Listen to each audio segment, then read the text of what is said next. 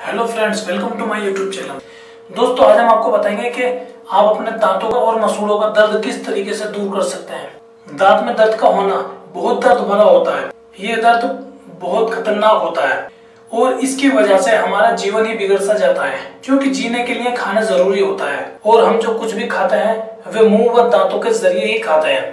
तो इसलिए दांत में दर्द का इलाज व उपचार करना बहुत ही ज़रूरी है। दोस्तों, बीते समय में इंसान के दांत 100 साल तक की उम्र तक भी नहीं प्रॉब्लम करते थे। इतनी उम्र होने के बावजूद भी उनके दांतों में कोई प्रॉब्लम नहीं आती और हमारे दांत और दाढ़ तीस साल में ही दर्द करना शुरू कर देते हैं। तो फिर क्या वजह होगी? उनके दांत इतनी उम्र तक भी सही सलामत रहते थे। इसके पीछे वजह है नेचुरल लाइफ स्टाइल वे लोग प्रकृति के साथ जीवन जीते थे।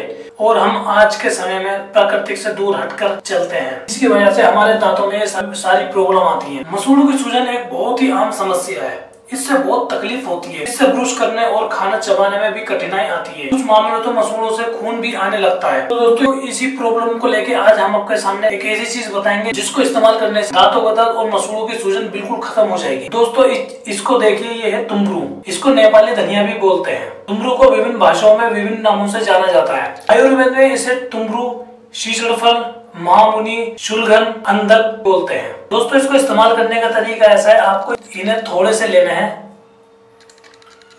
दोस्तों, तुमरू के बीच आपको इतने लेने हैं और अपने मुँह में इन्हें रख लेना है दांतों के नीचे। और इन्हें हल्का हल्का सा चबाना है और जो पानी आपके मुँह में आएगा, उसको आपको थूकते रहना है। आपको कम से कम ये 10 से 15 मिनट तक अपने मुँह में रखना है। दोस्तों, इस उपाय को आपको सिर्फ़ तीन दिन करना है। तीन दिन के अंदर आपके मसूड़ों का और दांतों का दर्द बिल्कुल खत्म हो जाएगा।